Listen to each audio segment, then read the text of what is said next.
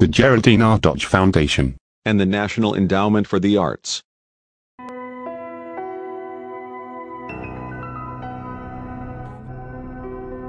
and a New York Life. This program was made possible by viewers like you.